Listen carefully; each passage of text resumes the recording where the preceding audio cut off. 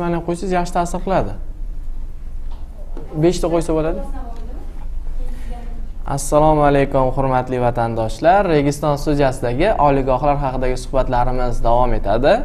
Biz bugun e, juda ko'pchiligimizga ma'lum bo'lgan yoju universitet haqida suhbatlashamiz. Biz yojuni kimyo universiteti deb nomladik. E, bu juda ham qiziq. Nimaga yojudan kimyoga nomla o'tkazishganligi shu haqida va universitetning e, o'zi fakultetlari haqida kontrakt to'lovlari haqida bugun bir sizlarga kerakli ma'lumotlarni beramiz degan umiddamiz.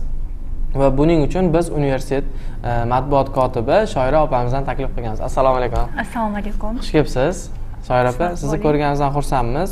Shu universitetinglar haqida ma'lumot beringlar deb taklif qilganimizda rad javobini bermasdan ho'p deb kelganingiz uchun sizga rahmat. Boshlashlik o'zingizni tanishtirsangiz assalomu alaykum. Avvalambor sizlarga ham rahmat aytmoqchimiz. Chunki bu xayrli ish doim ilm haqida insonlarni abituriyentlarni ota onalarni xabardor qilish. Meni ismim shoira va bakalavr yo'nalishini milliy universitetda bitirganman. Filologiya fanlari bo'yicha. Magistraturani esa prezident qoshidagi biznes akademiyada loyiha boshqaruvchisi sifatida bitirganman. Ta'lim yo'nalishiga aynan inha universitetidan kirib kelganman. Undan keyin shu xalq ta'lim vazirligi qoshida prezident maktablarini tashkil qilish guruhida o'sha ilk guruh bo'lib ishlaganmiz faoliyat yuritganmiz. o'n ikkita odam bo'lib keyin u keyinchalik agentlikka aylantirilgan va hozirgi kunda toshkent kimyo xalqaro universiteti hozirgi o'sha toshkent kimyo xalqaro universitetida faoliyat yuritib kelaman. Mhmm. Rahmat xush kelibsiz shoira opa. Endi savolimizni birinchisi nimaga yojudan universitetning nomi kimyoga o'zgartirildi? Judayam to'g'ri va ko'p beriladigan savollardan biri. Buni asosiy sababi bizda beshta katta maktab bor va u maktablarni ichiga yigirma sakkizta yo'nalish kiradi Э, o'z o'zidan э, yigirma birinchi yilda biz namangan shahrida hamda samarqand shaharlarida filiallarimizni ochdik va ta'sischilarimiz oldida xalqaro hamkorlarimiz oldida shunaqa bir э, savol tug'ilgandi. Institutdan universitetga o'tish maqomini olish Э, shu sababli э, ko'pchilik shu ta'sischilarni kengashida qaror qilindi universitet maqomini berilishi. Э, lekin xabaringiz bor janubiy koreyani yoju instituti institut maqomida faoliyat yuritadi va e, qonunga ko'ra institut hech qachon universitet maqomini bera olmaydi.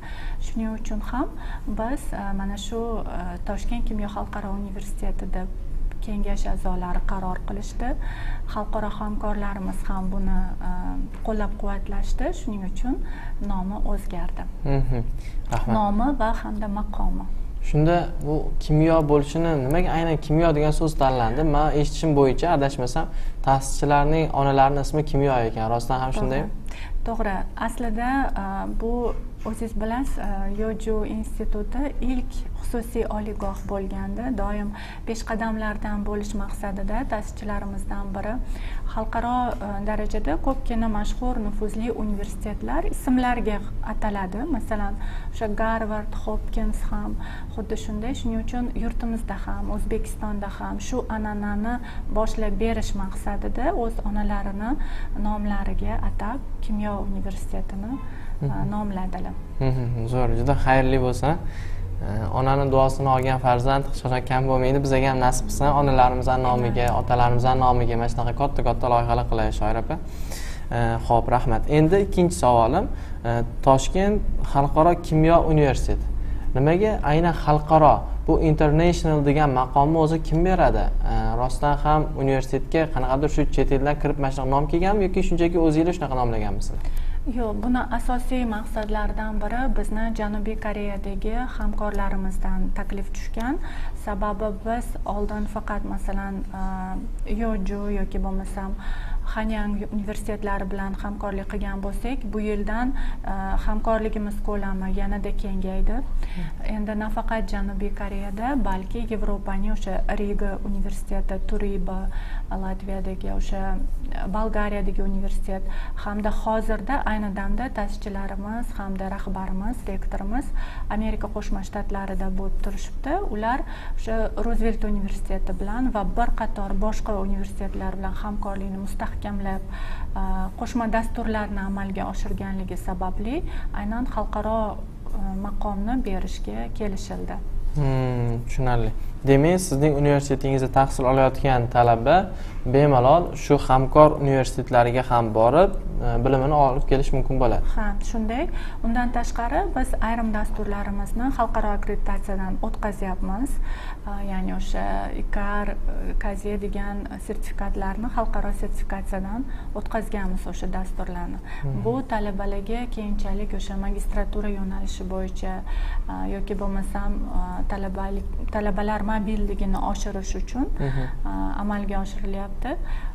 Hozir mana yaqin kunlarda ikkinchi potok o'sha akkreditatsiya guruhi keladi yana. Noxolis. Zo'r. Universitetni man boya youtubeda e, shu suhbatimizga tayyorlanayotgan paytimda ko'rdim. Birinchi bitiruvchilar chiqqan ekan. E, sakkiz oy oldin video qo'yilgan ekan.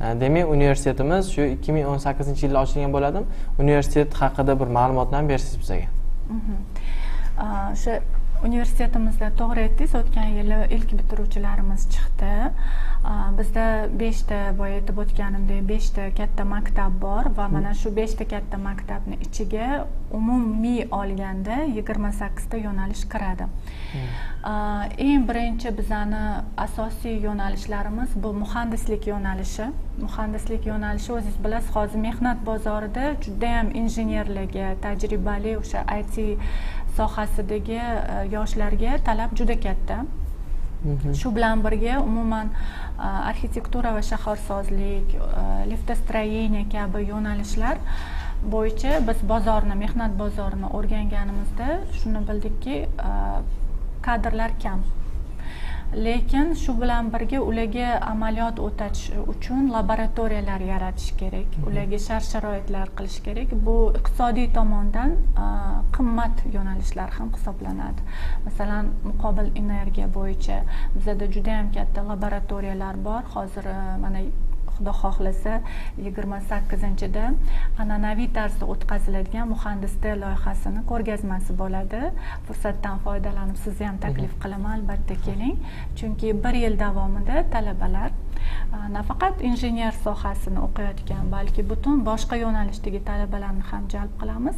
Turli o'sha aqlli uylar loyihasini yoki bo'lmasam yangi yangi loyihalarni taqdim qilishadi undan tashqari tibbiyot yo'nalishimiz bor tibbiyot yo'nalishida tibbiyot maktab shunda maktabi tibbiyot maktabini ichiga davolash ishi hamda stomatologiya yo'nalishimiz kiradi ularga ham hozirda ularni qoshida klinika ochilyapti amaliyotligini o'tash uchun va laboratoriya sharoitlari yaratib berilgan eng zamonaviy eng so'nggi uskunalar ham olib kelingan. To'g'risi man yaqinda o'zim syomkaga borib e, judayam hayron qoldim havasim keldi. Hamma sharoitlarni ko'rib e, oxirgi o'sha uskunalar keltirilgan ularga. Keyin ta'lim maktabiga kiruvchi yo'nalishimiz ham bor. Ta'lim maktabida e, yangi ochilgan yo'nalishlarimizdan biri bu xitoy tarjimashunosligi ya'ni xitoy tilidan ingliz tiliga ingliz tilidan xitoy tiliga tarjima e, qilish. O'zingiz bilasiz hozir butun dunyoni o'sha e, xitoy mahsulotlari egallagan. Shuning uchun bu yo'nalishdagi kadrlarga ham ehtiyoj katta bo'lganligi uchun yangi yo'nalish ochdik. Va e, biz o'sha judayam yaxshi talab katta bo'lgan yana yo'nalish bu english education yo'nalishi bor. English languagedan tashqari english language departmentdan tashqari english educationda bizda talabaga o'sha o'qituvchi bo'ladigan talabaga nafaqat ingliz tilidan balki matematikani ham o'sha majburiy fanlar turkumiga kirgizamiz. Ya'ni u bitirayotganda albatta matematika fanini va biron bir gumanitar fanni chuqur egallagan bo'lishi kerak bo'ladi. San'at yo'nalish maktabimiz bor. Bunga fashion dizayn hamda kosmetologiya yo'nalishi tasviriy san'at yo'nalishi kiradi. Bunda ham ijodkor yoshlarimiz judayam ko'p. Biz hozirda o'sha fashion dizayn yo'nalishi bo'yicha italiyani mashhur universitetlari bilan hamkorlikni yo'lga qo'yyapmiz ular ham shu rasmiy tashrif bilan may oyida kelishi kutilmoqda ko'zda tutilgan. Zo'r rahmat. Va eng oxirgisi biznes va moliya maktabi. Biznes va moliya maktabi ham juda yam katta yo'nalishlar bor u yerda bu sohada ham bizani e, hozir mana misol uchun ko'pgina restoran kafelarni egalari bo'lib chiqishyapti talabalar. Ko'rib xursand bo'lamiz o'zimizni talabalar ekanligidan. E, mana shu maktablar kiradi. Mhm. rahmat. Shunday xulosa qiladigan bo'lsak muhandislik tibbiyot ta'lim san'at va biznes va moliya maktabi. Xuddi shunday. Va bu maktablarning ichida ta'kidlab o'tganingizdek yigirma sakkizta yo'nalish bor. Yigirma sakkizta yo'nalish. Mhm. qo'shimcha sifatida aytmoqchiman yigirmata magistratura yo'nalishlari ham bor. Mhm. yigirma xil. rahmat. Ho'p endi qarang universitet o'zi qachon ochilgan degandek savol bergan edi shu haqida ma'lumot bersangiz. To'g'ri o'sha universitet ilk bora prezidentimiz shavkat mirziyoyev toshkentga e, koreyaga janubiy koreyaga tashriflari davomida o'zbekistonda ham xususiy oliygohlarni ochish kerak degan bir topshiriq berganlaridan so'ng yoju instituti ochiladi ikki ming o'n sakkizinchi yili va o'sha o'tgan yili ilk bitiruvchilarini chiqardi. Bu yil xudo xohlasa yana bitiruvchilarimiz bor. Xolis. Ularni chiqaramiz. Ajoyib. Demak ayni vaqtda universitetda nechta talaba tahsil olmoqda shoir opa hozir endi namangan hamda samarqand filiallarini ham qo'shganda yigirma uch mingga yaqin talaba tahsil oladi. Lekin bularni aksariyati sirtqi ta'limga tegishli. Sirtqi ta'lim yo'nalishida o'qiydigan talabalarimiz ko'p. Rahmat endi mm, mani savolim bizda mana o'tgan yil ikki yil oldin shu yoju institut deb nomlagan paytda borgan edik mhm. institutda ko'rib chiqqanmiz. Haqiqatdan juda yam ajoyib ichki sharoitlari e, qo'shimcha binolar qurilayotgan edi ichida. O'zi yana bir marta borishimiz kerak ekan deb ham o'ylanib qoldim. E, endi mana o'zingiz ham ta'kidlab o'tdingiz suhbat boshlanishidan avval e, universitetni boshqa manzillarda ham kampuslari ochildi. Shular haqida ham ma'lumot bersangiz ya'ni asosiy binosida qaysi yo'nalishlar bo'yicha darslar bo'lib o'tadi qo'shimcha qo'shilgan binoda qaysi yo'nalish bo'yicha dars bo'lib o'tadi. Bizni asosiy binoyimizda asosan o'sha laboratoriya e, nimalarimiz ko'p binolarida ya'ni e, muhandislar yo'nalishiga biz ko'proq urg'u berganmiz. Laboratoriyalarimiz bor yo'l harakatini boshqarish yo'nalishimiz ham bor u yangi yo'nalish. Uni ham laboratoriya arxitektura yo'nalishini hammasini laboratoriyalari amaliyot o'taydigan joylari aynan bizni asosiy korpusimizda joylashgan. Undan tashqari o'sha sobir rahimov e, o'sha metro bekatini yonida tibbiyot yo'nalishimiz bor. Tibbiyot yo'nalishini e, butun laboratoriya hamma jihozlari o'zini ichida binosini ichida va hozir yonida klinikasi ham xudo xohlasa sentyabr oylaridan boshlab o'z faoliyatini boshlaydi. Zo'r demak bir vaqtda o'zida o'qiyotgan talabalarga tajriba ortish imkoniyatlari ham mavjud. Albatta. E, o'zingiz bilasiz mana shunaqa gap bor. Eshitdim unutdim. Mhm. ko'rdim eslab qoldim bajardim tushundim degan tamoyil bizada judayam ko'p ishlatamiz. Sababi amaliyot bo'lsa talaba o'sha narsani ko'proq tushunadi qabul qiladi. Amal shuning uchun ham bizda amaliyotga katta urg'u beriladi. Qoyil zo'r. Ho'p endi keling mana universitet fakultet yo'nalishini sanab o'tdik. Qachon ochilganligini aytdik. Hozirdan o'sha talabalar qiziqishayotgan bo'lishligi mumkin. Qachon o'zi bu universitet ochilar ekan qabul jarayonlari qachon boshlanar ekan degandagi savolga javob berib o'tsak. Qabul jarayonlari bizda birinchi apreldan boshlangan. Bemalol onlayn e, hujjatlarni topshirsa bo'ladi o'zlariga qulay vaqt. Va shu orada aytib o'tmoqchiman e, hujjatlarni topshirish mutlaqo bepul. Chunki ko'p e, har xil agentliklar tashkil topilganini eshitib hayron qolamiz. Aslida abituriyentlarni ota onalarni shu narsalarga aldanib qolmasligini chaqirib qolamiz. E, hujjatlarni topshirish ham juda sodda oddiy. E, Videoroliklar ham qilib qo'yganmiz. O'sha abituriyentlarga qulay bo'lsin deb qiynalishmasin deb. Shuning uchun birinchi apreldan to avgust oyigacha xudo xohlasa qabulimiz ochiq bemalol hujjat topshirsa bo'ladi. Rahmat hozir bir ikkita so'zlarga tushuntirish kiritib ketamiz. Bizani juda ko'p kuzatuvchilarimiz adashmasam ota onalardan iborat mhm. shunga ularga yanada soddaroq qilib berish uchun tushuntirishlar kiritib ketishimiz kerak. Birinchisi maktab deganda bizni oddiy yosh farzandlarimiz o'qiydigan maktab emas balki fakultetni maktab deb nomlashgan ikkinchisi agentlik degan hozir so'zdan foydalandilar. Konsalting firmalari shu aytganlaridek pul talab qilib sizning farzandingizni shu o'qishga olib kirib qo'yishga intiladi.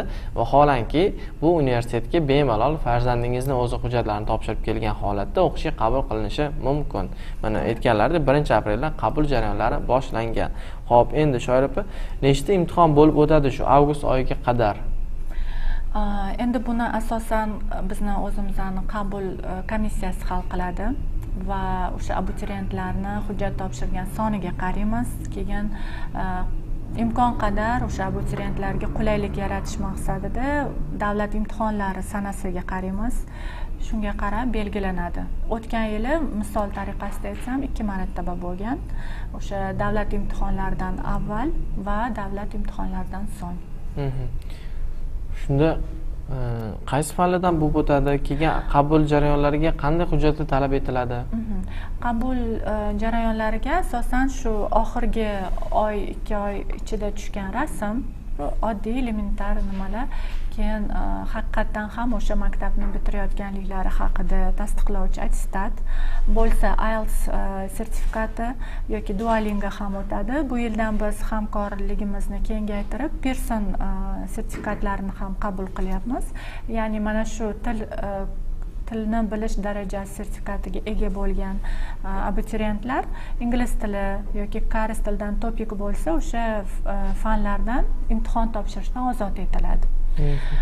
Imtihonni fanlariga keladigan bo'lsak bu yo'nalishlarga bog'liq misol uchun e, aytaylik san'at maktabiga kiruvchi e, yo'nalishlar ko'proq ijodiy imtihon topshirishadi. E, bularga ham alohida kun belgilanadi. Ular o'sha portret natyurmort kabi ko'pgina nimalardan ijodiy imtihon topshiradi. Qolgan yo'nalishlarda masalan tibbiyot maktabiga kiruvchi stomatologiya davolanish u yerda biologiya ximiya ingliz tili ona tili kabi fanlardan imtihon topshirishadi. Rahmat. Ielts minimum nechi bo'lishi kerak minimum bizni beshu besh deb belgilaganmiz. Pierson dedingiz piersonni ham shunaqa imtihoni bormi? Piersonda adashmasam boshqa o'sha ingliz tilidan tashqari yana biologiya va ximiya fanlaridan ham imtihonlar olishadi.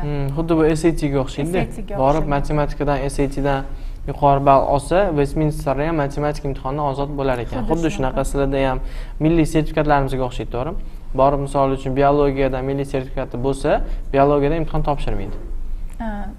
Milliy sertifikatdan qabul qilasizlarmi yo qabul qilmaysizlarmi ha hozircha bizada milliyda yo'q lekin shu person ielts duolingo topiklarni qabul qilamiz. Rahmat. Ho'p bu haqida tushunarli. Imtihonlar ikki marotaba bo'ladi dedingiz o'tgan yil shunaqa bo'lgan dedingiz endi bu yil o'quvchilar soniga qaraymiz dedingiz qarang man yojuni bilaman kimyo universitetini. Juda ko'p yoshlarimiz qiziqishadi va arizalarni ham soni ko'payib ketadida va ularni soni ko'p bo'lib ketgandan keyin o'tgan yil ikki marta qilgan yilida adashmasam qaysidir yili karantin bo'lgan paytda mana yo'lga shuncha odam yig'ib degandagi narsalar tarqalib ketgan edi. Yana shunaqa narsalar bo'lib qolmasmikan imtihonni keladigan o'quvchilar qaysi manzillarda topshirishadi? Endi biza imkon qadar o'tgan yili ko'proq kunlarni belgiladik. O'sha o'quvchi abituriyentlar qiynalib qolishmasin deb hmm. va yoz fasliga to'g'ri kelganligi uchun asosan e, ertaroq boshladik. Hmm. o'sha quyoshda oftobda baribir ota onalar keladi kelmanglar desak ham kelishadi. Ularga sharoit yaratishga harakat qildik. Imkon qadar har yili o'zini o'sha qabul komissiyasi tomonidan ham qabul jarayonlarini takomillashtirishga harakat qilishyapti ya'ni o'sha har yili baribir qanaqadir kamchiliklarga yo'l qo'yiladi. Shuni oldini olish uchun yangi yangi bir e, o'zligi gruppaligi loyiha qilib chiqishyapti. O'tgan yili yaxshi bo'lgan lekin. Hmm. Hozir shunda qarang mana o'tgan yil ham ikki marta bo'lgani bilan bu bir nechta kunlarga bo'lingan to'g'rimi? Ya'ni o'quvchilarni soni ikki mingta uch mingta bo'lib ketadigan bo'lsa ularni shu uch to'rt kunga bo'lib yuborishgan shu uch to'rt kun ichida kelib topshirishgan imtihon. Bemalol o'zini kunida keladi. Endi natijalar qanchada chiqadi shunda? Natijalari o'sha imtihon topshirgan kundan boshlab ya'ni faqat ish kunlari hisobga olinadi o'n kun ichida chiqadi. Undan vohliroq ham chiqqan paytlari bo'lgan. Bunda shanba yakshanba kunlari hisobga olinmaydi. Mhm. tushunarli rahmat. Endi kontrakt to'lovlari qanaqa? Shu necha kunda kontrakt to'lash kerak bo'ladi. Keyin byudjet grantlar bormi? Manimcha eng yaxshi savol shu bo'ldi.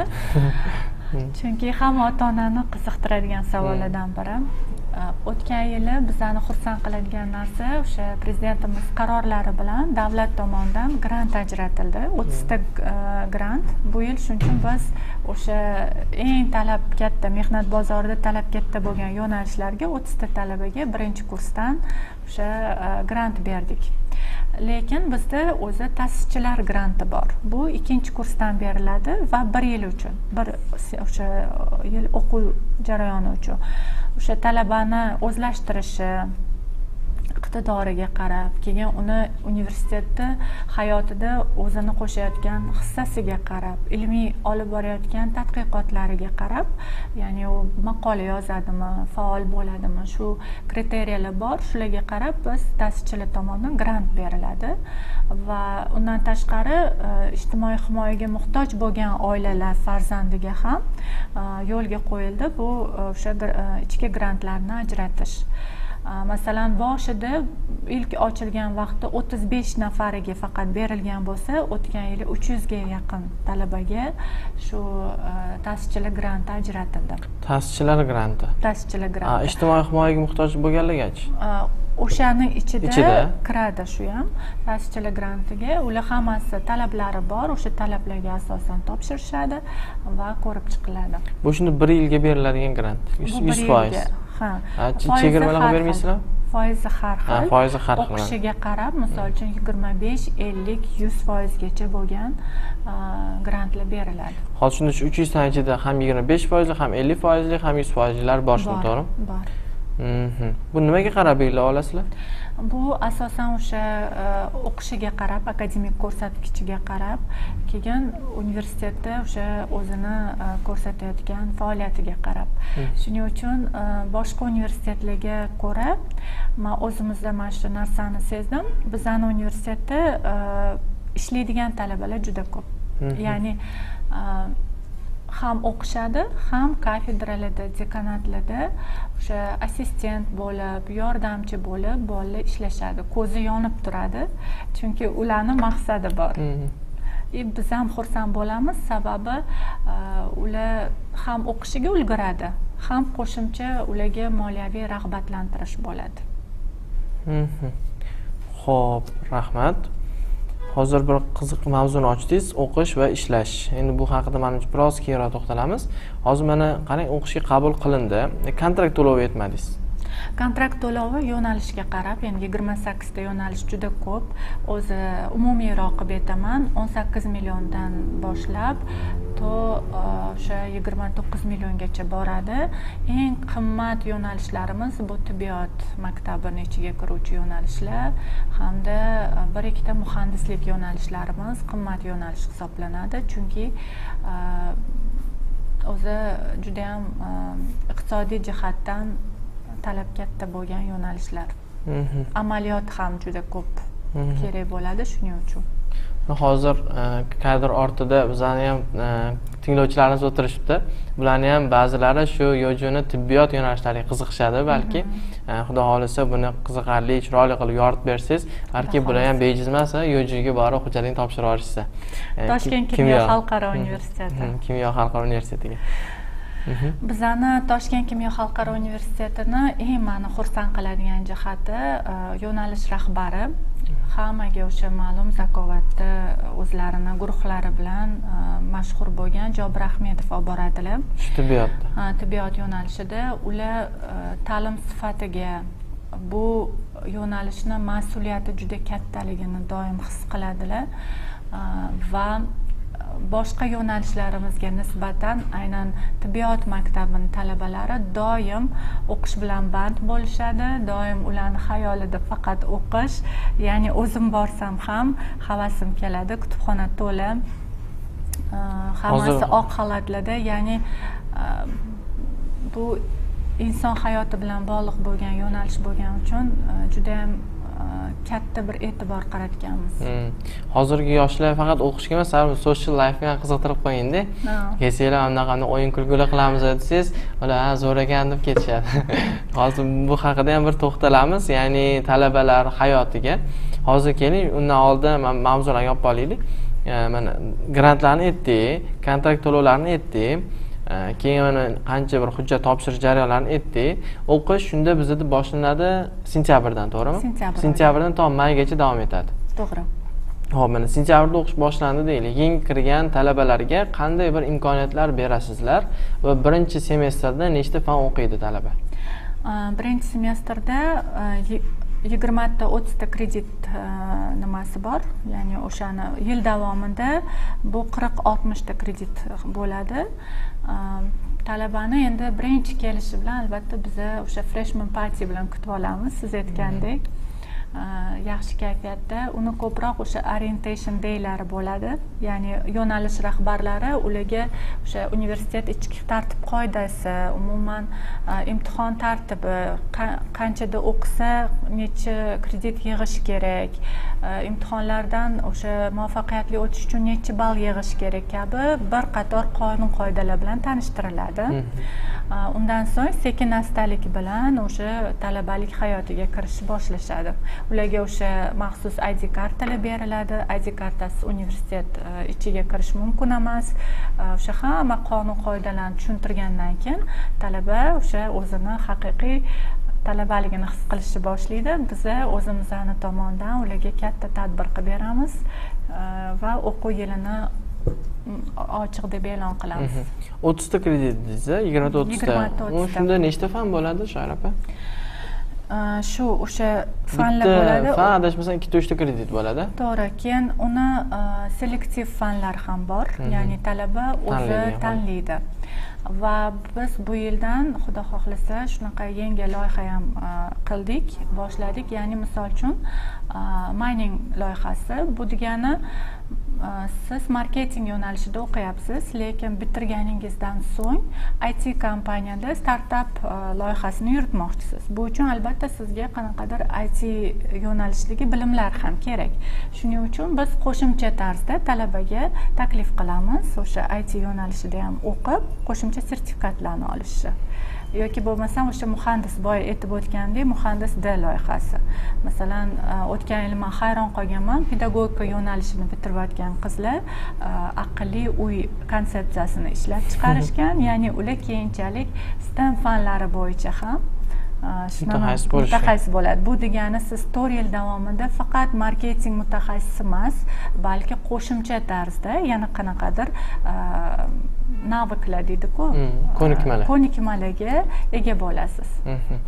Zo'r demak man o'zim webster universitet talabasi bo'ladigan bo'lsam bizda bir vaqtning o'zida ikkita diplom olish mumkin. Ya'ni ikkita yo'nalishdan bitta diplom ikkita yo'nalishdan. Xuddi shunaqa yujida ham bor demak to'g'rimi? Bor ya'ni marketing marketolog ham bo'la oladi yoki shu muhandis ham bo'la oladi endi muhandisja bo'la olmasa ham lekin o'shanga kirish uchun ozgina fanlarni o'tib hmm. qo'shimcha sertifikatga ega bo'la oladi hmm, shunda hmm. qo'shimcha sertifikat deganingizda shu diplommi shu? Ha shu diplomga o'xshash e, endi diplom emas sertifikat sifatida beriladi. Ya'ni bu nima uchun kerak? Mana hozir e, yaqinda ham angliyaga xizmat safariga borganimizda katta ko'rgazmada e, shu narsani guvohi bo'ldim. Umuman butun dunyoni ta'limi hozir o'sha sun'iy intellektga qarab ketyapti.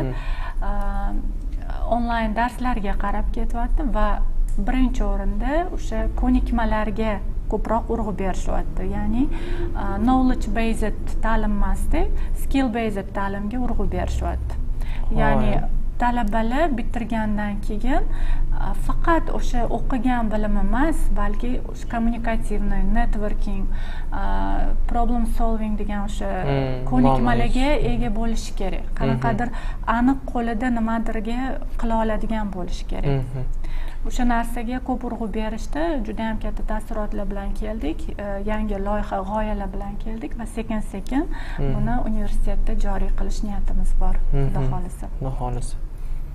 Zo'r hozir shu mana yigirma sakkizta yo'nalish bo'lsa bu yigirma sakkizta yo'nalishni qancha bir laboratoriyalari bor qanaqa qilib bir tajriba o'ta olishligi haqida ham savollarim bor. Mhm. shoir opa faqat ularga biroz keyinroq to'xtalamiz. Mana hozir oltmishta kredit dedingiz. Mhm. bir yilda e, yigirmata o'ttizta kredit dedingiz bitta mhm. semestrda. Endi bizga yanada buni soddaroq qilib tushuntirib bersangiz iltimos mana birinchi kursga kirdim man talabaman.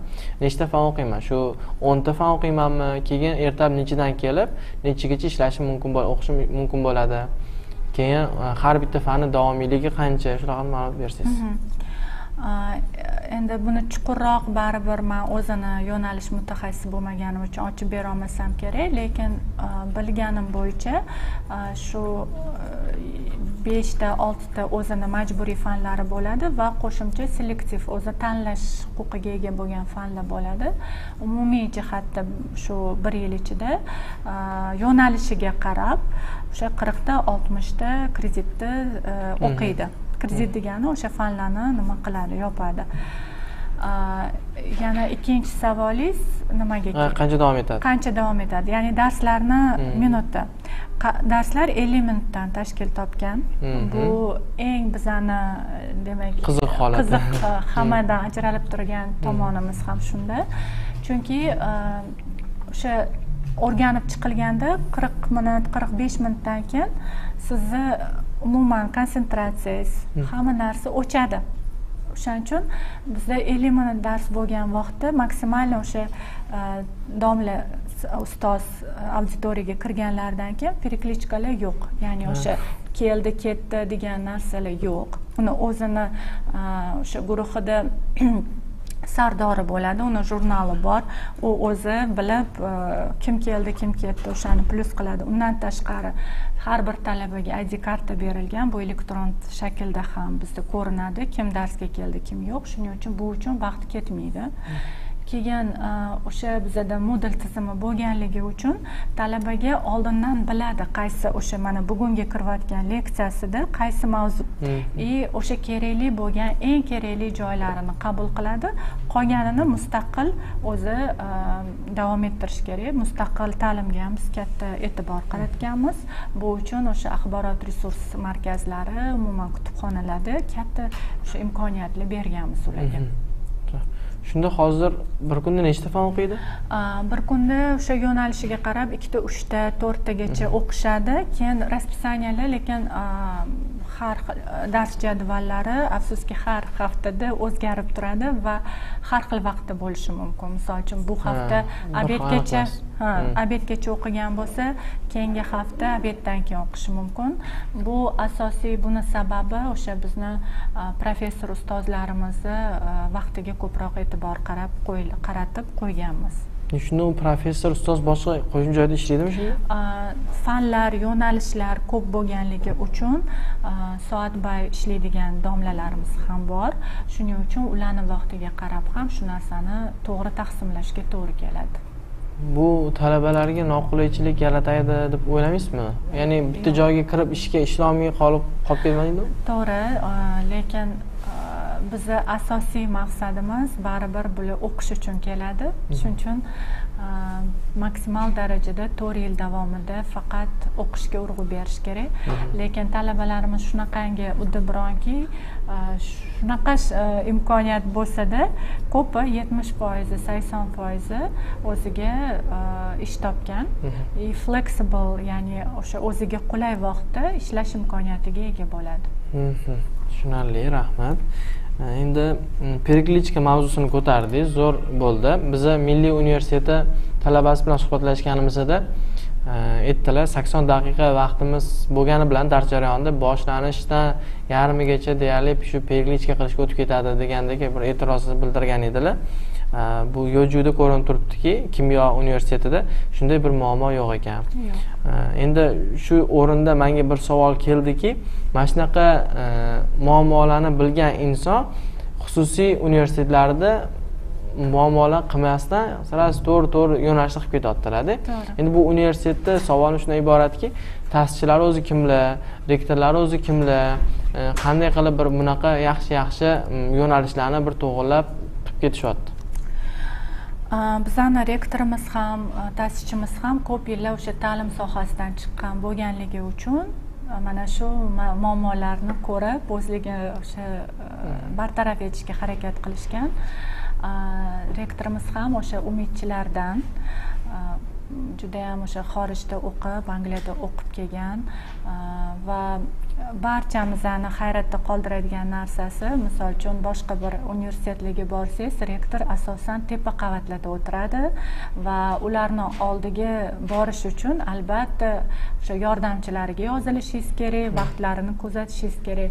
Lekin bizani rektorimiz shu birinchi qavatda kiraverishdan chap tomonda o'tiradilar ularni yordamchilari ham yo'q oynalari ham ko'rinadigan qilingan va xohlagan payt masalan masala muammo bilan ota ona bemalol kirib oldilariga uchrashsa bo'ladi. Xuddi shunday biz xodimlar ham qanday masalalar muammolar bo'lsa bemalol yugurib tushib tez hal qilamiz. Shunisi bilan ham manga masalan bu narsa ma'qul kelgan judayam.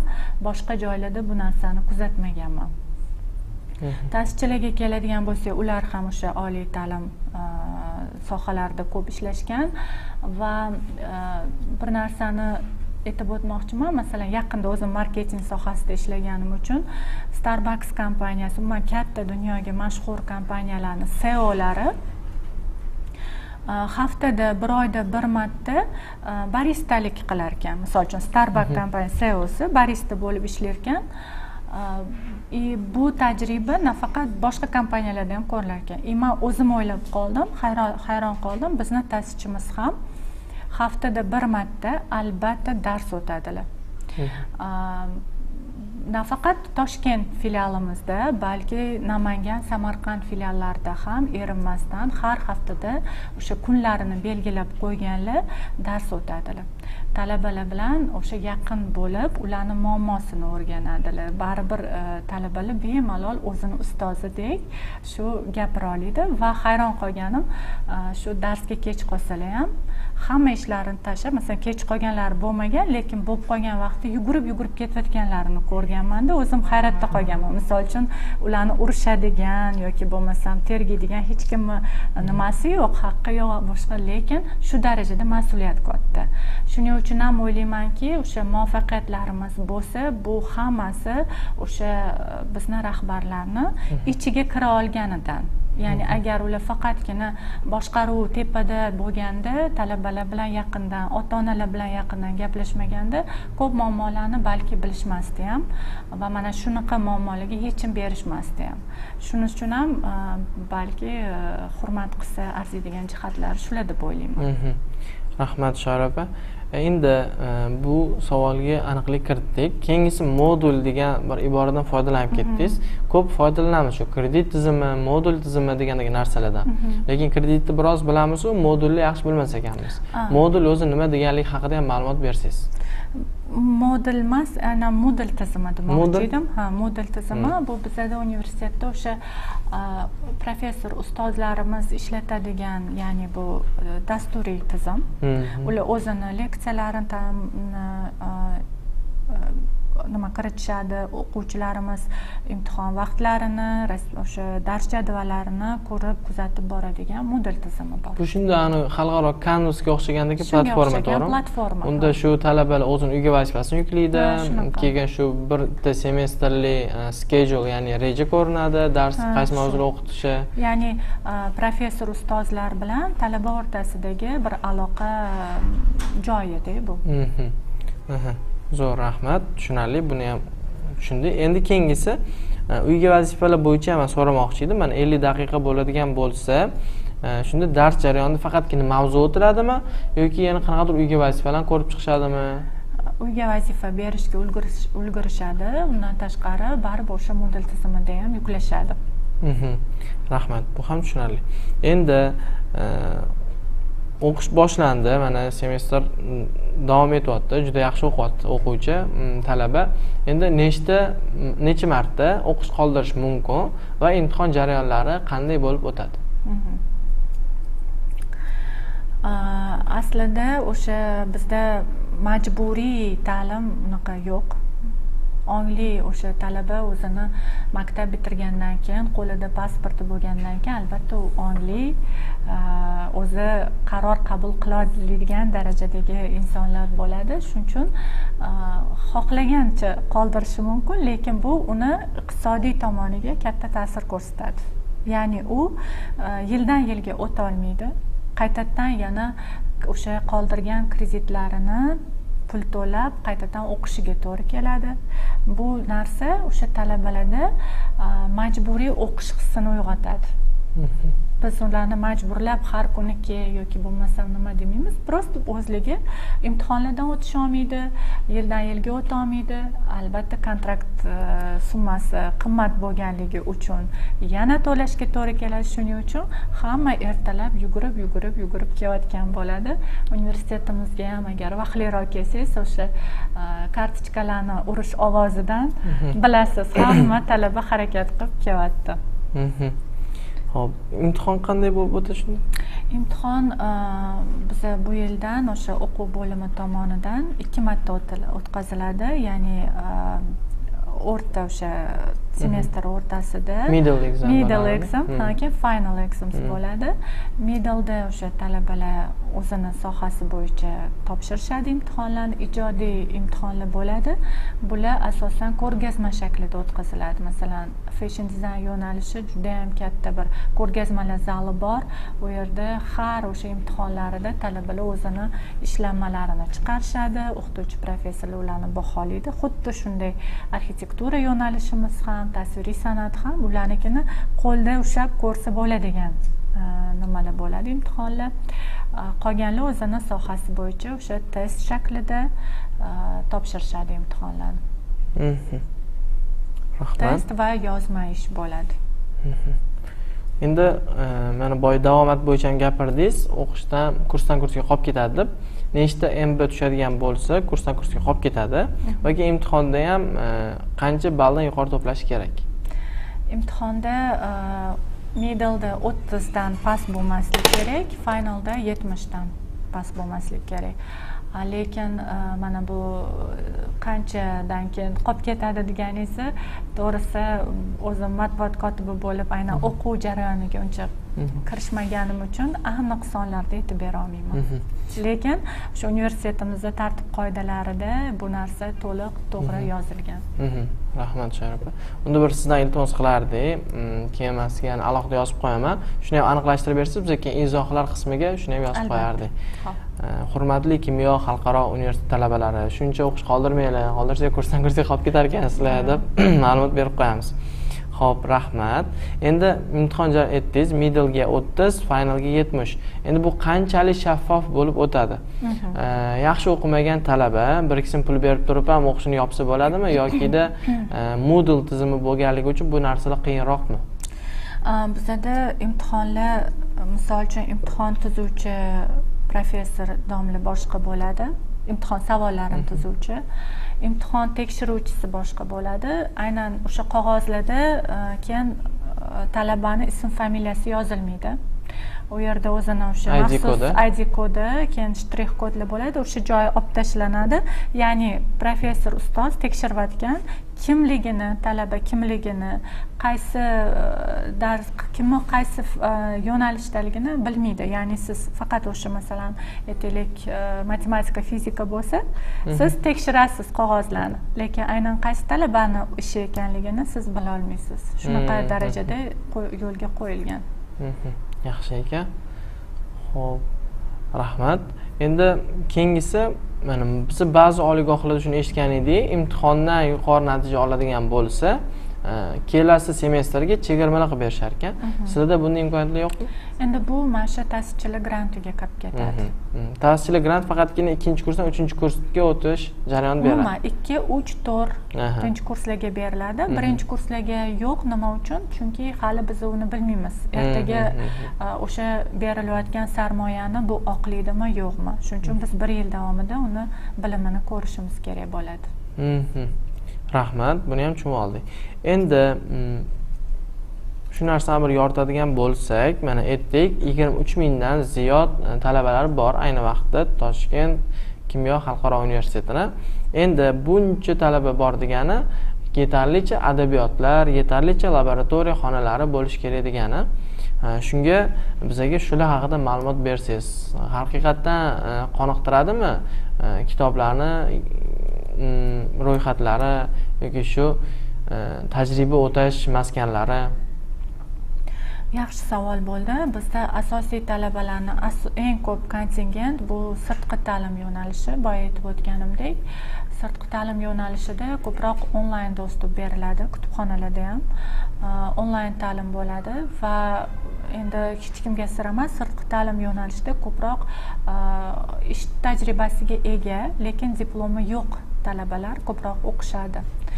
Shuning uchun bizni o'zimizni o'sha bakalavriat kunduzgi kechki yo'nalishlarimiz soni kam jihat bo'lgani uchun kam bo'lgani uchun bizda demak kutubxonalarimizda adabiyotlar kitoblar hammasi yetarli undan tashqari bizda ikki qavatda joylashgan kutubxonamiz birinchi qavatda ham bor ikkinchi qavatda ham va qo'shimcha tarzda o'sha hozir hamma narsa elektronlashtirilgan mhm. elektron adabiyotlar ham bor mhm. Rahmat. Laboratoriyalar? Laboratoriyalar ham yetarli. Bizada o'sha asosan mana bu aniq fanlarga o'sha muhandislik yo'nalishi meditsina yo'nalishi bo'lgani uchun laboratoriyalar asosan shu yo'nalishlarda bor bemalol foydalanishadi talabalar. Qo'shimcha darslar qilishga ham hatto imkoniyatimiz bo'ladi. Rahmat. Mana qarang man kirdim o'qishga tayinlanib tibbiyot yo'nalishiga. Shu jobir aka ahmedov boshliqlaridagi yo'nalishda tahsil olmoqdaman endi birinchi kursdan boshlab manga maxsus fanlarim kiriladimi yoki ikkinchi kursdan boshlab kiriladimi ikkinchi kursdan mhm. boshlab kiriladi birinchi kursda asosan sizda o'sha umumiy tibbiyotga kirish qismi bo'ladi birinchi kursda ikkinchi kursdan уже sizda amaliyotdan boshlanadi mana hozir yaqinda biz syomkaga borsak o'zimizni o'sha doimo videoroliklarga tushib yuradigan talabalarni topolmadik so'rasak ular klinikada amaliyotni boshlashibdi ular ikkinchi kurs o'sha o'sha aynan yo'nalish davolash ishiga qaratib ko'proq chuqurlashtiriladi zo'r rahmat. Endi man bu savol bejizga bermadim. Mana qarang birinchi kursda manga tibbiyot yo'nalishi yoqmay qolsada man muhandislik yo'nalishiga o'tib ketsam bo'ladimi? Yo'q aynan mana shu yo'nalishlarimizda перевод yo'q. Ya'ni tibbiyot yo'nalishiga boshqa yo'nalishdan hech kim hech qaysi talaba qabul qilinmaydi va tibbiyot yo'nalishidan boshqa ya'ni o'sha siz aytgan muhandislik yo'nalishiga ham перевод qabul qilinmaydi. Shu ikkita maktabga qabul qilinadi mana shu maktabda o'qish kerak. Yoki bo'lmasam aynan tibbiyot yo'nalishi bo'yicha boshqa universitetga ko'chirib olib ketsa bo'ladi. Endi shu savol ham bor edi. Misol uchun olaylik man bir boshqa oliygohda shu tibbiyot yo'nalishida o'qiyman. Sizlarni oliygohinglarga перевод qilib kelsam bo'ladi to'g'rimi? Bo'ladi lekin aynan tibbiyot yo'nalishiga biz biza qabul qilishimiz sal qiyin. Chunki bu yo'nalish boya aytganimdek judayam mas'uliyatni talab qiladi. Biz bu yo'nalishda xudo xohlasa kelajagida judayam yaxshi tajribali specialistlar chiqarish niyatimiz bor. Shuning uchun biz qabul qilishimiz qiyin bu yo'nalishga. Lekin boshqa yo'nalishlarga bemalol переводda o'tkazsa bo'ladi. Demak hurmatli abituriyentlar boshlanishidan to'g'ri oliygoh tanlanglar mana agar e, to'g'ri yo'nalishga to'g'ri oliygoh tanlamasdan kirmay qolsanglar keyin yojuga kimyo universitetiga kelolmay qolar ekansizlar yo'q aynan tibbiyot yo'nalishiga uni ham qabul qilamiz mhm. lekin e, baribir e, u darajada ko'p emas mhm. lekin baribir qabul qilasizlar agar bilimi to'g'ri kelsa mhm. o'sha imtihonlardan o'tolsa qabul qilishimiz mumkin period shu imtihon topshirishadi agarda misol uchun tibbiyot yo'nalishi bo'lsa uni o'qigan e, oldingi o'qigan universiteti tekshiriladi. Hozir e, juda oxirgi paytlar juda yam ko'p bo'lib ketdi. Masalan e, unaqa darajada rasmiy bo'lmagan universitetlardan ko'chirishlar ham ko'p bo'ldi. Biz ularni qabul qilmadik. Tekshiriladi qaysi universitetdan kelyapti? Rasmiy universitet deganingizda universitet maqomini olmagan litsenziyasi yo'q bo'lgan joylardan kelgan shunaqalar ham bo'ldi afsuski va shularni biz qabul qilmadik. Rahmat. Ho'p bu haqida ham ma'lumot oldik. O'qish jarayonlari haqida ma'lumot oldik. Endi ijtimoiy hayot. Mana boya shu mavzuga to'xtalmoqchi edik. Yoju yoju dvorini o'rganib qolgan ekanman. Kimyo universitetida E, talabalarga qanday qo'shimcha imkoniyatlar bor? Sababi mana o'zingiz aytdingiz ellik daqiqadan bo'lganda bir kunda maksimum to'rtta fan o'qiganda ham e, bir ikki uch soat to'rt soat dars olar ekan va qolgan paytlarda bo'sh bo'ladi. Shu bo'sh bo'lgan vaqtlarda nimalar bilan talabalar shug'ullanishligi mumkin? Bizada kafedralarga judayam yaxshi bir kpi dasturi qo'yilgan ya'ni o'sha professor ustozlar qanchalik talabalarni qo'shimcha qanaqadir ijtimoiy loyihalarga yoki bo'lmasam qo'shimcha darslarni rivojlantirsa ularni o'sha daromadiga ta'sir qiladi bu narsa. Kpiga kpi oshdi degani o'sha professori ham o'sha ustozni ham yoki kafedra mudirini ham oyligi maoshi oshadi degani. Ya'ni bu narsa uzviy bog'liq bo'lganligi uchun ko'pgina o'sha kafedralarimiz tomonidan har xil to'garaklar bor. Masalan koreys filologiyasi to'garagida teatrlar qo'yiladi k pop judayam bizada mashhur bu narsa yoshlar orasida. Man to'g'risi o'zim tushunmaganim uchun hayron ham qolaman. Judayam qiziq qiziq keyin qo'shimcha o'sha koreys taomlarini pishirish to'garaklari bor. Ingliz tili kafedrasi tomonidan har haftada movie nightlar qilinadi ya'ni kinolar ingliz tilida qo'yiladi. Undan tashqari endi biz o'zimiz talabalar bilan ishlaganimiz uchun har bayramda ularga katta katta bayramlar tashkil qilamiz. To'g'risi man o'zim ham o'sha talabalar bilan birga maza qilib mhm. dam olamiz mhm. chunki baribir o'qigandan keyin hordiq ham olish kerak ozgina miya ham dam olish kerak va bunaqa tashkiliy masalalarni yana bitta yaxshi tomoni borki ular bir biri bilan do'st tutinishadi. Har xil konsert dasturlarini qo'shayotganda yangi tanishlar orttiradi. Masalan fashion dizayn yo'nalishi aytaylik tarjimashunoslik yo'nalishi talabasi bilan tanishadi va hokazo ya'ni networking rivojlantirish uchun ham bunaqa tadbirlarni manimcha ahamiyati bor. Ha tushunarli. Demak klublar juda yam ko'p qo'shilishga qatnashgan endi qarang bir yaxshi qiziqarli man o'zimga savol keldi.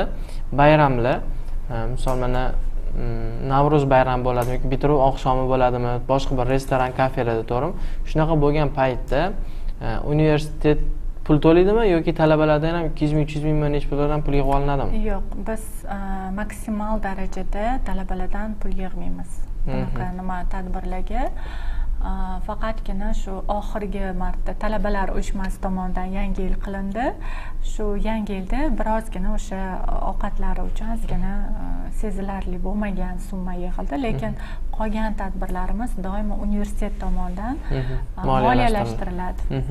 Tushunarli rahmat bu haqida ham ma'lumot oldik. Endi career career center degan narsa bor universitetlarda. Ya'ni o'qiyotgan talabalarni ish bilan ta'minlash bilan shug'ullanishadi shu mana klublar haqida ham bir ma'lumot olishadigan bo'lishsa talabalar uyushmasidan olishadi to'g'rimi? Shu career centerda ham qanaqadir bir ishlash imkoniyatlari haqida talabalar ma'lumot olishadimi? Mhm, to'g'ri. Hozir e, o'zingiz bilasiz ta'lim sohasida raqobat juda yam kuchli bo'lib ketyapti va albatta hammaga natija qiziq. O'sha masalan ta'limga sarmoya kiritayotganda sizni yo'nalishingizda bo'lsa albatta uni natijasi universitetga oliygohga qabul qilinishi. Bizani natijamiz bu talabani o'sha muvaffaqiyatli ishga joylashishi. Shuning uchun biz har yili aprel oyida karyera day qilamiz. Bu yil ham bo'ldi juda yam katta o'tkazdik. Qiziqarli shaklda o'tkazamiz. Ya'ni kompaniyalarni taklif qilib shu joy o'zida talabalarni ko'rgazmasini ham tashkil qilamiz o'sha e, kelgan kompaniyalar ularni amaliy qilayotgan ishlarini ko'rish uchun. Va bizni o'sha kompaniyalar bilan ishlaydigan hamkorlik bo'limimiz bor. Ular o'sha talabalarni amaliyotga joylashishi ularni keyinchalik ishga joylashishini kontrol qilishadi rejalashtirishadi mana bu har yili albatta shu narsa qilinadi va bitiruvchilar bilan ham bizda alohida ishlanadi. Misol uchun u ketdi bo'ldi xayr emas.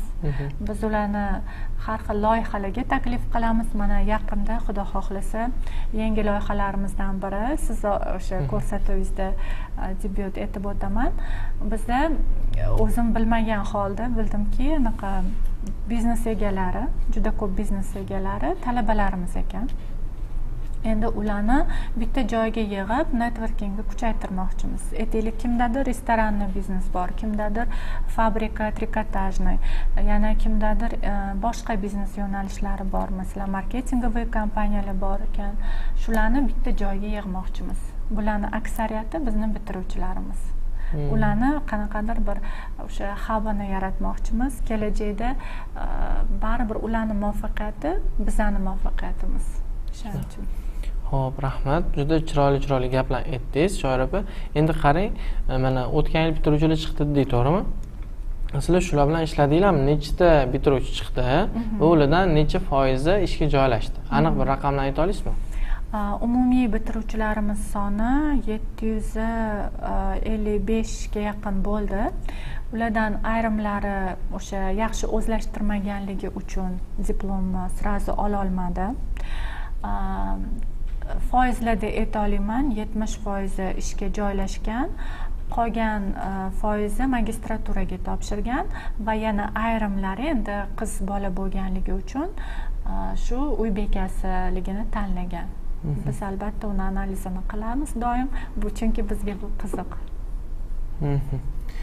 ho'p rahmat tushunarli qarang yetti yuz ellik beshta dedingiz adashmasam ikki ming o'n sakkizinchi yil e, yoju bo'lib universitet ochilganda buncha talabasi bo'lmagan to'g'rimi? Yo'q. O'tgan yillar davomida period orqali shuncha bo'lib ketib qolgan. Перевод ham bo'lgan keyin e, o'sha pedagogika yo'nalishimizda talabalar soni juda ko'p. Pedagogika yo'nalishi ya'ni ta'lim maktabida asosan qizlar bu juda yam xursand qiladi. E, doim ko'zligi chaqnab turadi ularni. E, pedagogika yo'nalishimizda doim talab katta. Rahmat tushunarli. E, najot ta'lim loyihasini bir zo'r e, postlari bor. Bitiruvchi o'quvchilarni shunchasi mana shu joylashtirib degan narsalar joylashar ekanda xuddi shu narsani e, kimyo universiteti ham qilsa zo'r bo'lar ekan ya'ni man hozir yetmish foiz dedingiz manga baribir ham bu qorong'ida. E, haqiqatdan yetmish foizmi yoki qan- qanaqa ishlarga joylashganligi shularni misol mana otabek hoshimov registon o'quv markazida ishlayapti. Ixtiyor mahmudaliyev misol e, appleda ishlayapti. Yoki e, samandar hamroqulov misol uchun aytaylik e, boshqa kompaniyada ishlayapti degan ma'lumotni chiqarib qo'ysa yaxshi bo'lar ekanda.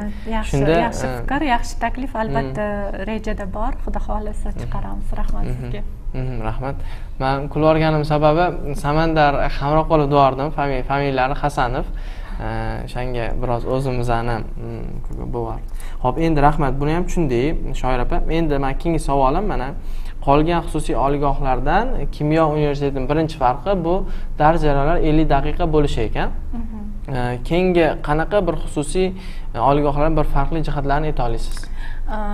Endi asosan biza amaliyot ko'pligi amaliyot ko'pligi va agar siz e'tibor bersangiz hozir ochilayotgan ko'pgina oliy ta'limlarda e, gumanitar yo'nalishlar ko'p. Ya'ni gumanitar yo'nalishlarda laboratoriya kerak emas. E, bu bizda bu narsa sal ko'proq mehnat bozorida talab etilayotgan yo'nalishlarga ko'proq urg'u beramiz. Ya'ni ertaga ishsiz qolmasligi kerak. U doim talabda bo'lishi kerak. Shuning uchun Э, shu jihatdan laboratoriya э, jihozlarimiz ko'pligi jihati bilan ham ajralib turamiz deb o'ylayman. Amaliyotimizni borligi hatto mana turizm yo'nalishini ham o'zini shunaqa ajoyib xonalari bor. Kirsangiz xuddi mehmonxonaga kirgandek bo'lasiz u yerda o'sha kravatlar yoki bo'lmasam o'sha barna stoykalar bor talabalar u yerda servis xizmatlarini qanday to'g'ri amalga oshirishni o'rganishadi bu qo'shimcha amaliyotdan tashqari shunaqa nimalar berilgan keyin biz ko'proq hozir ilmiy tomonga urg'u beryapmiz ya'ni talabani bakalavr yo'nalishidan boshlab magistraturaga tayyorlab sekin astalik bilan o'sha ilmiy salohiyatni oshirish uchun phd qiladigan shu mustaqil tadqiqotchilar uchun ham biz e, e'lon qilganmiz. O'sha e, ilmiy bo'limimiz bor. Ular bu yil mana hozir o'n beshinchi maygacha o'sha phd ga hujjatlarni qabul qilishyapti. Ko'proq o'sha e, amaliyot bilan ilmiy nuqtai nazarga va ilmiy bo'lganda ham ularni qilayotgan ishlari qog'ozda qolib ketmasligi kerak. O'sha qilayotgan ishlari iqtisodiyotni qaysidir tarmog'ini masalalariga yechim bo'lishi kerak. Bizani asosiy strategik e, kerakli o'sha o'ylagan maqsadimiz ham shu. Ertaga o'sha qilayotgan ilmiy ishi qog'ozda emas amalda E, qo'llanish kerak. Shuning uchun endi mana misol uchun quruq gap bo'lmasligi uchun aytishim mumkin. Bizada muqobil energiya bor. Muqobil energiya yo'nalishida o'sha shamol varraklari foydalanish uchun laboratoriyalari bor.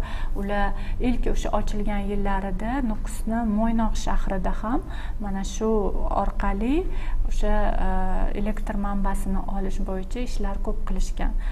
Bu bo'yicha hozir bir ikkita magistrant o'zimizni bitiruvchilarimiz latviya universiteti latviyani shahridagi riga universitetida hozir o'qishini davom ettiryapti. Kelgandan keyin o'sha ilmiy ishini yana davom ettiradi. O'zi ilmiy ishlar odatda doktoranturada bo'ladi to'g'rimi? Ya'ni biza talabani e, shunaqa qizg'anamiz. Masalan ayniqsa iqtidorli yaxshi talabalarni e, berib yuborgimiz kelmaydi. Ularni o'zimizda olib qolib dekanat mana o'zimda ham uchta talaba ishlaydi. Ya'ni ular bitiruvchilar. Ularni olib qolib sekin magistraturaga yo'naltiramiz. Magistraturadan keyin o'sha ilmiy ish qilgin deb olib qolib e, ertaga o'sha albatta vatanimizga xizmat qiladigan ya'ni taqdiri biz uchun qiziq. Shunisi bilan ham balki boshqalardan ajralib turamiz deb ayta olaman qoyil doktoranturada shu ilmiy ish o'qilsa oylik to'lovi bor. Adashmasam besh ming atrofida. Kimyo universitetida ham talabalarga pul berib ishlab turmaydi hozircha bizada magistraturadagilar bor hali ilmiy tadqiqot qiladigangacha yetib borishmadi. Lekin boya aytib o'tganimdek boshqa vuzlarga nisbatan agar bizni universitetimizga taklif qilaman keling. Ko'rasiz judayam ko'p kafedralarda dekanatlarda o'zimizni talabalar ishlashadi. Biz ularga o'sha haqli maosh to'laymiz. Man o'zimni ham kurs tanishim shu yojuga borganimizda yoju payt bo'lganda bizani universitet aylantirib chiqqan hoji akbarovich aslbek bizani shu universitetda ko'rsatib chiqqan edi. U ham aytganingizdek ta'lim maktabida o'qigan manimcha va ingliz tilidan universitet o'zida podkursligida dars berardi. Va o'zi o'sha yerda aytganingizdek daromad topardi man aytib berasiz o'sha insonlarni tasavvur qilyapman haqiqatdan bor gaplarni aytyapsiz shoir opa adashmasam. Ho'p rahmat. Bu haqida ham ma'lumotlar oldik. Endi man keyingi so'ramoqchi bo'lgan narsam professorlar. Mana universitetda ta'kidlab o'tganingizdek mm, qiyin yo'nalishlarga ixtisoslashgan mhm. aniq bir fanlarga ixtisoslashgan. Endi bu fanlarni chuqurroq o'rgatish kerak. Chuqurroq o'rgatish uchun tajribali professor o'qituvchilar kerak bo'ladi. Universitetda ayni vaqtda nechta bir ustozlar faoliyat yuritishadi va ularning ularni sizlar qayerdan topgansizlar? Shunaqa savol beraymi to'g'ri. Bu eng qiyin nima? Soha o'zi yaxshi tajribali ustozlarni topish. Bizda xorijdan kelgan professor o'qituvchilar ko'p. Ayniqsa janubiy koreyadan kelganlar ko'p. Angliyadan bor misrdan bor tibbiyot yo'nalishimizda keyin it soha yo'nalishlarimizda ham bor. Buni asosan e, bizda o'sha hr departamenti qiladi. Ya'ni e, ishga qabul qilish bo'yicha hamda kafedra mudirlarimizni ko'pchiligi chet ellarda o'qib kelishgan. O'zimizni mahalliy ustozlarni ko'pchiligi chet ellarda o'qishgan va ular o'sha o'zini tanishlari orqali o'sha yerdagi o'qib kelgan vatanidan ko'pgina professorlarni taklif qilishgan. Shu shu jihatdan shu masalani biz shu orqali yopganmiz. Yana boshqa yo'nalishlar bor. Qiynalgan paytlarimiz albatta o'sha boya aytgandek soatbay orqali biza to'ldiramiz bu sohalarni lekin ko'proq baribir ishga olayotgan paytda maxsus sifat komissiyasi bor ta'lim sifatini nazorat qiladigan komissiya bor. Ular o'sha ilmidan tashqari uni dars berish metodikasiga katta e'tibor qaratishadi. Chunki yaxshi ilmli inson mm, o'quvchini qiziqtira olmasligi mumkin. O'sha ellik minut bo'lganda ham juda monotonni dars o'tishi mumkin. Shuni oldini olish maqsadida albatta mana shu ta'lim sifatini nazorat qilish bo'limi doimiy shu narsani kuzatib boradi. Ularga reyting balli qo'yiladi. Bu o'z navbatida ularni oyligiga ta'sir qiladi. Shu orqali biza to'ldirganmiz. Mhm. Zo'r. Bu qarang universitetni birinchi yili o'zidan shuncha departamentlar shuncha ishlar bo'lganmi yoki bu yil o'tib jarayonlarda qilingan? bilan asta sekinlik bilan chunki birinchi yili e, o'sha beshtagina e, yo'nalish bo'lgan keyinchalik o'sha boya aytganimdek bozor o'rganib chiqilgan e, va mana bu yildan o'tgan yili ham yangi yo'nalishlar qo'shildi. O'shalarni ichiga yo'l harakatini yo'l harakati xavfsizligi yo'nalishi. Ya'ni bu degani o'sha e, dan xodimlarini ha dan xodimlarini ishlab o'qitishdan tashqari o'sha e, hozir dtplarni oldini olish uchun hmm. qanaqa qilib yo'llarni tuzish kerak qanaqa qilib o'sha e, yo'lovchilarni qayerga joylashtirish kerak? Mana shu muhandislik bo'lgani uchun biz injenerlar maktabiga kiritdik buni qoyil man to'g'risi juda xursand bo'lyapman aytganingizdek bizani oqsayotgan yo'nalishlarimiz juda yam ko'p va shu oqsayotgan yo'nalishlarimizga kimyo universitetida e, yetarlicha keraklicha kadrlar tayyorlanyapti deb o'ylayapman mana o'zi bilamiz e, davlat universitetlarida e, kvotalarni shu hokimiyatlarni belgilab berardi adashmasam. Misol bizga mana shu yo'nalish bo'yicha shuncha odam kerak deyishardi. A mana kimyoda aytayotganingiz zo'r zo'r yo'nalishlar bor ekan bu yo'nalishga kvotalarni kim belgilab beradi? Keyin nechta nechtadan bir talabalar qabul qilasizlar? Mhm. Endi bu savolingizga ham juda to'liq e, javob berolmayman lekin e, chunki buni qabul komissiyasi maxsus e, ishlashadi ta'sischilarni o'sha yig'ilishi bo'ladi. Har yili endi o'zini mm, maxsus belgilangan kvotasi asosida qabul qilinadi va albatta boya aytganingizdek universitetni sig'imiga qaraladi. Qancha o'quvchi talabani biz qabul qila olamiz qancha auditoriyalarimiz bor o'qituvchilarni nimasiga qaraladi shunga qarab e, o'sha har yili kvota belgilanadi. O'tgan yil qancha olingan taxminan taxminan har bir yo'nalishga yuztadan e, olingan o'tgan yil ham yigirma sakkizta yo'nalish bormi? Ha o'tgan yil yigirma sakkiz E, shu uch ming atrofida talaba olingan shunda. Mhm. zo'r rahmat. Endi keyingisi shu professor sonini aytmadinglar lekin shoir son ayta olamizmi professorlar e, bir yuz oltmishtadan endi hammasi professor emas magistraturani bitirganlar Ustozlar? bor. Ustozlar keyin boya aytganimdek soatbaylar ham bor shularni orasida bir yuz yigirmata atrofida bo'lishi kerak. Mhm. bir yuz yigirmata atrofida? Mhm. tushunarli rahmat. Hop endi key- soatbaylar bilan bularni soni yana ham ko'payadi. Ikki yuz elliktadan oshadi adashmasam. Universitet o'zida o'tirib ishlaydiganlar bir yuz yigirmata atrofida va keyin yana bir yuz o'ttiztachasi shu soatbay kelib ketib yurishadiganlar. To'g'ri. Mhm, rahmat. Endi mm, mana biza akf universitetini vakillari bilan avvalgi rektorlari bekzod aka suhbatlashganimizda bizani maqsadimiz universitetda top mingtalik olib kirash degandek zo'r gaplarni gapirgan edilarda va shu yo'l e, yo'lda qilinayotgan ishlarni bizga aytib bergan edilar. Endi e, shu mana kimyo universitetini hozir siz bergan ma'lumotlarni ko'ryapman eshityapman qoyil qoldiradigan darajadagi bir mm, ishlar ko'z tegmasin bo'lyapti shunga universitetda ham mana shunaqa bir missiyasi bormi? Top universitet qatoriga kirish e, uning uchun nimalar qilinyapti yana?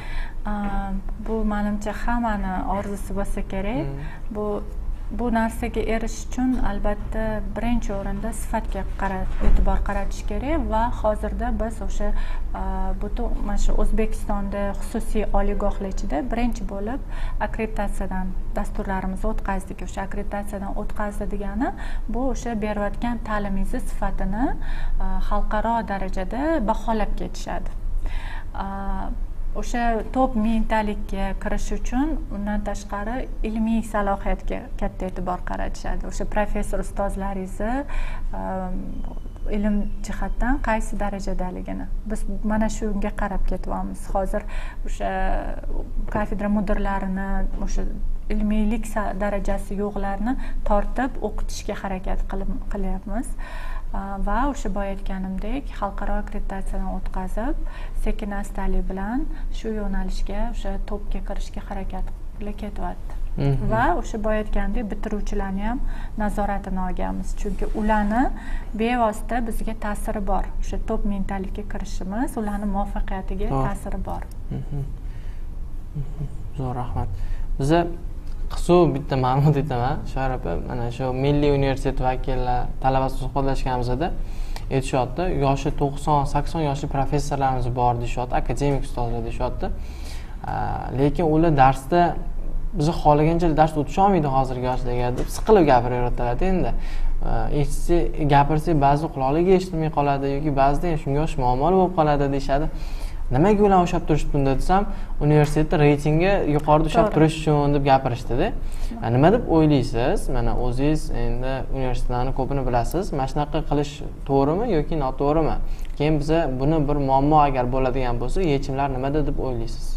Endi bu manimcha har bir universitetni o'zini e, hal qiladigan o'zi qaror qabul qiladigan masala bo'lsa kerak. Man ularga to'g'ri noto'g'ri deyishga manimcha mani nimam yetmasa kerak ya'ni haqqim ham bo'lmasa kerak. Lekin masala sifat e, yechim sifatida o'sha yoshlarni ko'proq mana bilsangiz yaqin yaqingacha o'sha phd olish masalalari juda qiyin bo'lgan o'sha doktorantura qilish ham bir tog'i uchiga chiqgudek masala bo'lganda hmm. hozir endi asta sekinlik bilan salgina yumshatilyapti shu narsalarga o'sha qarigungacha bormaslik uchun salgina o'sha nafas havo berish kerak deb hmm. o'ylayman shuning uchun yoshlarni o'sha kafedra mudirlari ham balki professor ustoz yoshligidan o'sha narsaga yo'naltirish kerak xuddi biz hozir hmm. talabalarni sekin astalik bilan shunga olib borayotgandek keyin mana shu talabalarni mom o'sha complain deydiku hozir mhm. aytayotganingizdek shikoyatlarini ko'rib chiqish uchun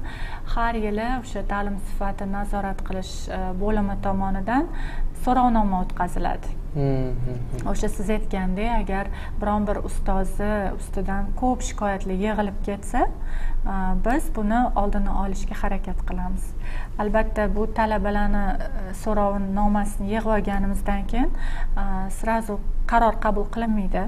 O'sha e, o'sha domlani butun dars o'tish jarayonlari yana bir bor tekshiriladi. Video kamera orqali umuman darslariga kiritiladi. Haqiqatdan ham talabani shikoyatiga to'g'ri kelsa bu, bu masala biz o'sha professor bilan xayrlashishgacha to'g'ri keladi. Manimcha siz aytayotgan masalani ham yechimi sifatida shu yo'lni ham ko'rsa bo'ladi tushunarli rahmat. Hop bular bo'yicha man batafsil bir ma'lumotlar oldim. Bunga kattakon rahmat. Endi keyingisi boya suhbatimiz davomida ta'kidlab o'tgan edingiz mining loyihasi bilan muhandis d loyihasi. Bular shunda qanaqa loyihalar?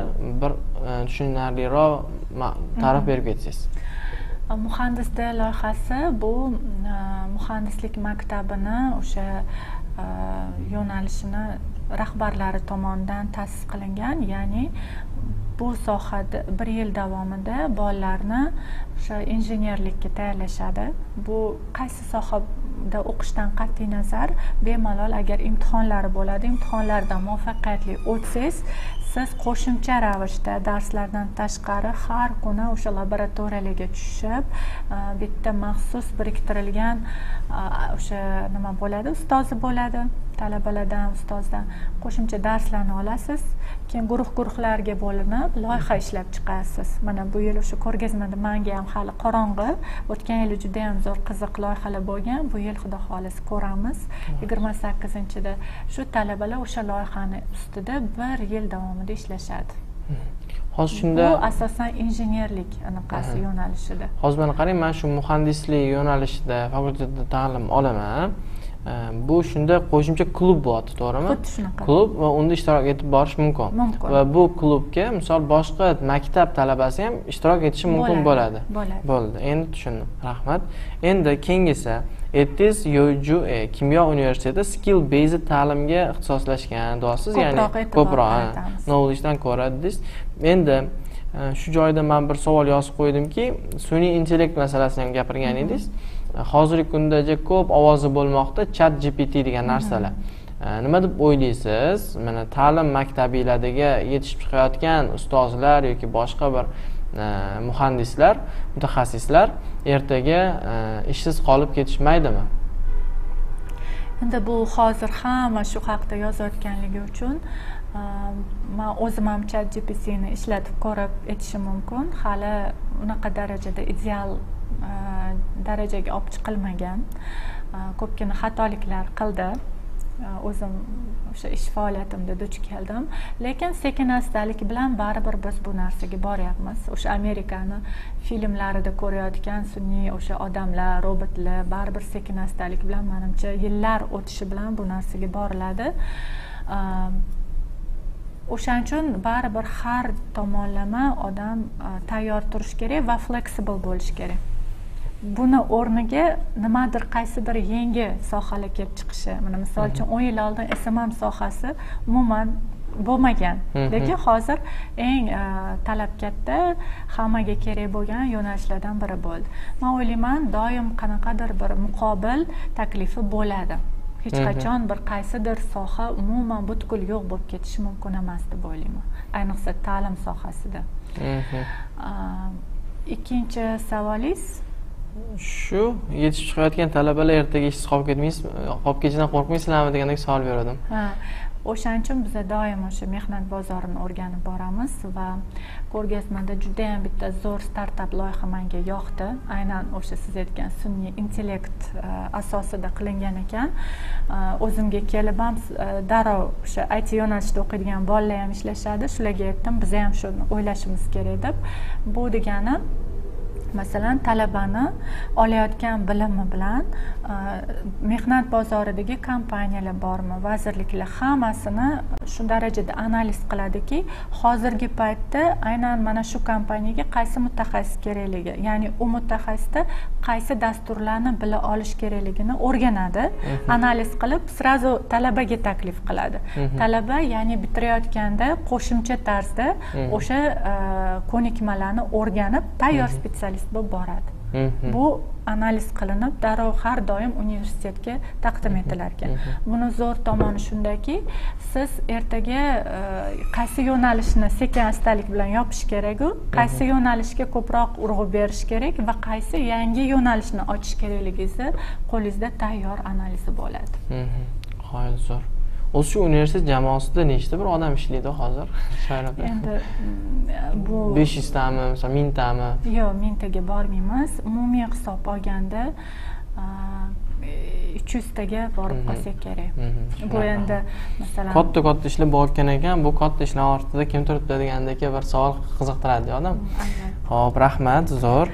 Endi registon o'quv markazini bir ijtimoiy reklama videolar bor edi. Agar qarshi bo'lmasangiz biz hozir shu odamlarimizga kuzatuvchilarimizga shuni bir qo'yib beramiz.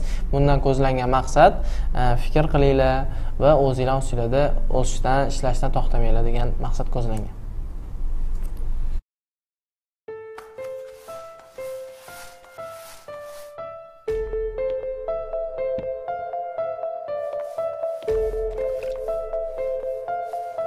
qachon o'zgaradi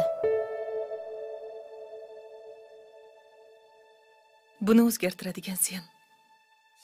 O'qi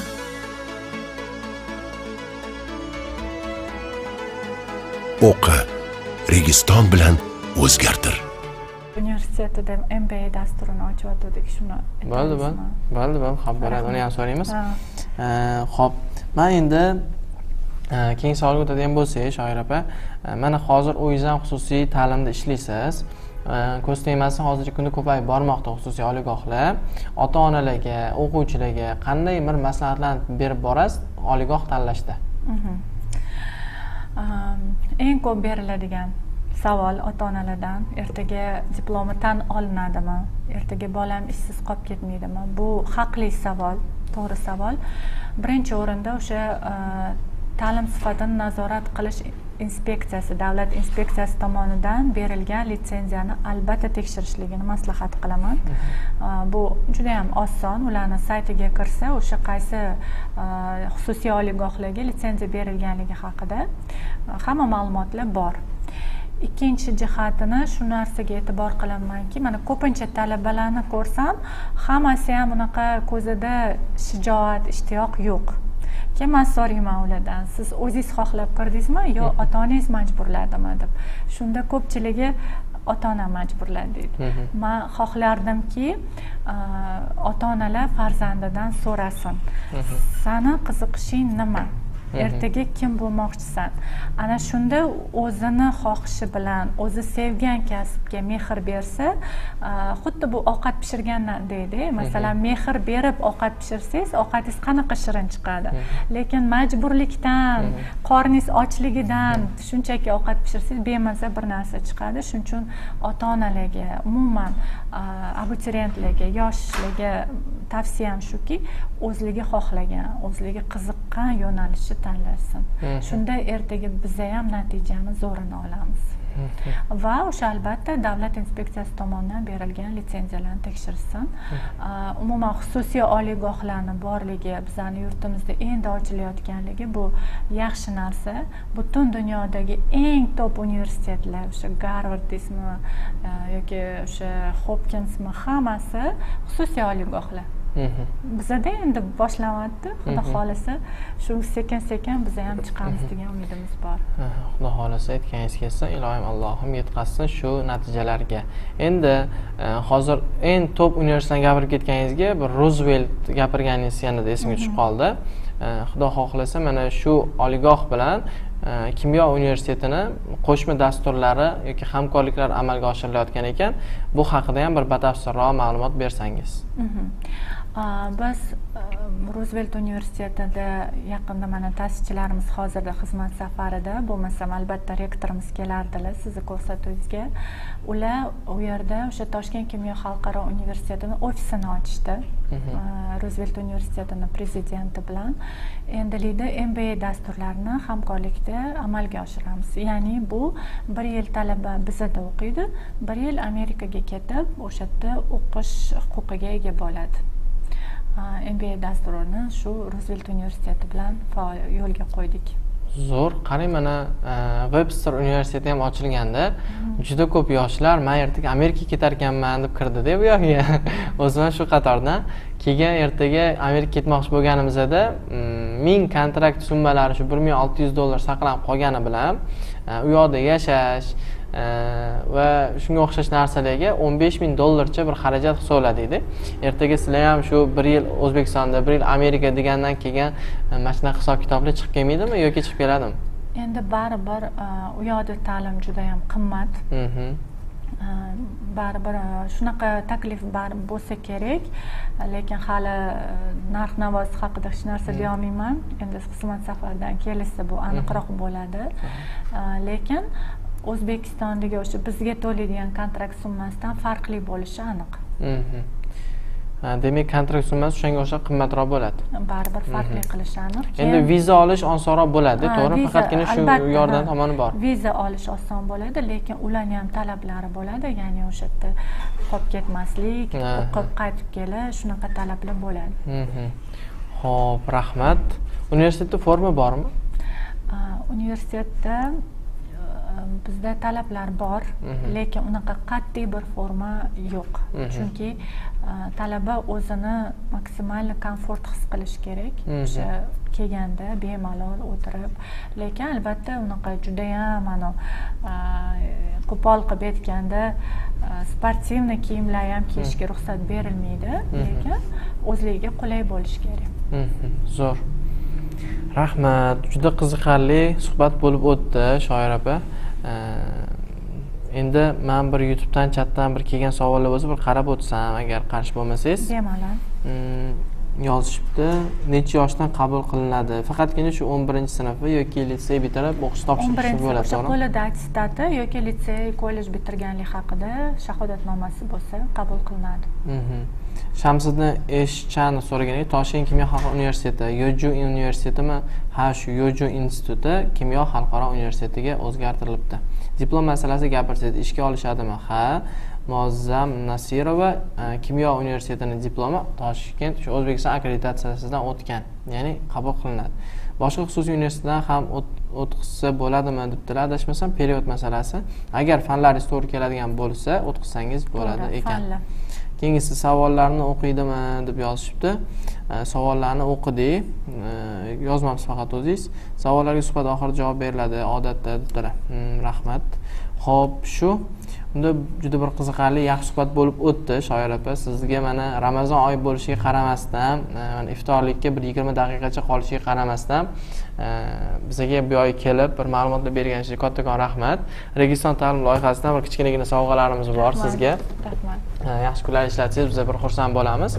Yana man so'ramagan siz yetmagan ma'lumotlaringiz bo'lsa ularni ham bir biza yo'naltirib qo'ysak bo'ladi kuzatuvchilarimizga avvalambor sizlarni o'sha xalq uchun beminnat qilayotgan uh, loyihanglarga omad tilab qolaman chunki baribir ta'limni rivojlantirish hammamizni mas'uliyatimizda. Faqatgina o'sha tegishli vazirliklarniki emas ishinglarga rivoj omad. Keyingi gal o'sha gapirgan gaplarimni isbotini ko'rish uchun o'zimizni universitetimizga taklif qilamiz. Albatta kelinglar ko'ringlar xursand bo'lamiz. Rahmat. Yana bir narsani aytib ketdik. Man kecha instagramda o'tirganimda arnold shvartsneygerni instagram sahifasida ko'rib qoldim. Ko'chasida katta yama bor ekan. Shu yamani o'zi asfalt ikkita qopda olib kelib e, tuzatayotgan ekanda. Hozir aytganingizdek ta'limni rivojlantirish faqatgina bu bizani vazirlikka bog'liq emas balki har birimiz shu ishda shug'ullanishimiz kerak. E, shu jarayonda ham registon ta'lim loyihasini bir missiyasi bor. O'zbekiston ta'lim dunyoda birinchi o'ringa olib chiqish va bu missiyaga biz faqatgina o'zimiz erisha olmaymiz deb o'ylaymiz buni sizdagi universitetlar bilan hamkorlikda xudo xohlasa amalga oshiramiz degan umiddamiz inshaalloh. Vaqtingizni ayamasa kelganingiz kattakon Rahmat, rahmat. sizlarga ilmlari rahmat. ziyoda Rahmat. universitetning ham faoliyatiga biza rivoj baraka tilab qolamiz. Xudo xohlasa e, to'g'ri tanlov qilishda ushbu suhbatlarimiz sizlarga yordam beradi degan umiddamiz rahmat sog' bo'linglar. Rahmat